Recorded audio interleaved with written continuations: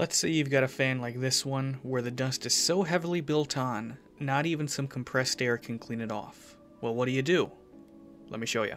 Get a soft bristle paintbrush and some isopropyl alcohol. Dip the paintbrush in the alcohol, only getting a little on it. Then just start brushing down the entire fan. Once you finish brushing, set it down, leaving it to dry for a couple minutes. Come back, and it should look completely clean. After that, you are all set to go. If you could, please like and subscribe, and if you have any comments or suggestions, please leave them in the comments section. Thanks for watching.